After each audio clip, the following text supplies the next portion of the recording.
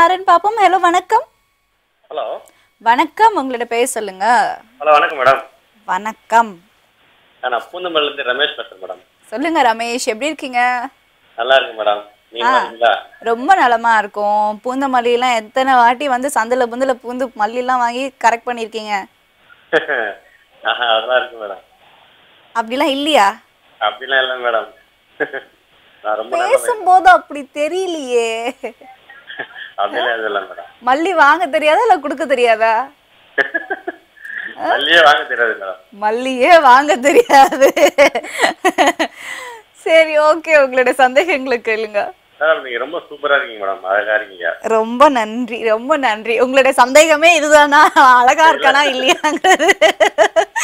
உங்களுடைய சந்தேகம் என்னன்னு சொல்லுங்க.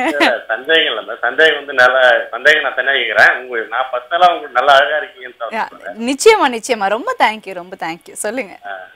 மேடம் எனக்கு என்ன டவுட்னா இந்த உடலுறவு வந்து தினமும் பண்ணலாமா அப்படின்ட்டு சார் கேட்கணும். அதுதான். உங்களுக்கு திருமணம் ஆயிடுச்சா? ஆயிடுச்சு மேடம். ஓகே குழந்தைகள் இருக்காங்களா? ரெண்டு பையன் இருக்காங்க மேடம். ஓகே உங்களுக்கு என்ன வயசாகுது? உங்க மனைவிக்கு என்ன வயசாகுது? எனக்கு நாற்பது வயசு ஆகுது மேடம். மனைவிக்கு? முப்பத்தி ரெண்டு வயசு ஆகுது முப்பத்தி ரெண்டு வயசு ஆகுது ஆமா ஓகே உடலுறவு டெய்லி வந்து வச்சுக்கலாமாங்கிறது தான் இவருடைய கேள்வி டாக்டர் இதுக்கு உங்களுடைய பதில் என்ன?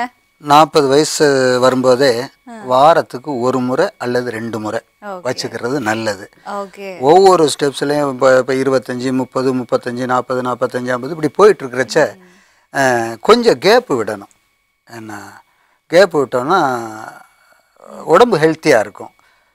அறுபது எழுபதில் கூட இவர் தாம்பத்திய வாழ்க்கை வச்சுக்க முடியும். ஆமாம் இப்போவே அதே டெய்லிங்கும்போது இப்போ நாற்பத்தஞ்சில் எல்லாம் உட்காந்துக்கும் முடியாது. ஆமாம் செல்ஃப் எடுக்காது. அதனால நாற்பத்தஞ்சில எல்லாம் இவர் கிழவன் ஆயிட்டேன் ரிஜெக்ட்னு சொல்ல முடியாது. இன்னும் நிறைய அவர் ட்ராவல் பண்ண வேண்டிய தூரம் இருக்கும். ஆனால் ஆசை மட்டும் இருக்கும். ஆனால் அவரால் ஈடுபட முடியாத சூழ்நிலை ஏற்பட்டுரும்.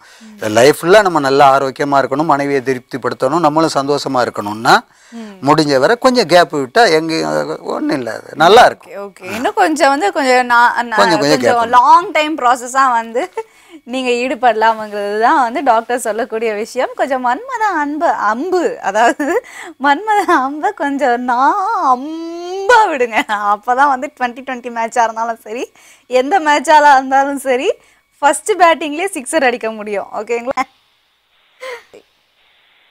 கேட்கலாம் சொல்லுங்க வசந்தம். சொல்லுங்க.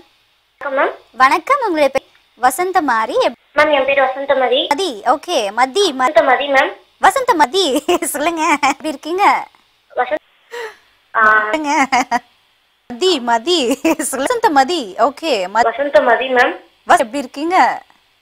வசந்த மாரி மேம் என் பேர் வசந்தமதி. சொல்லுங்க. வணக்கம் உங்களுடைய சொல்லு-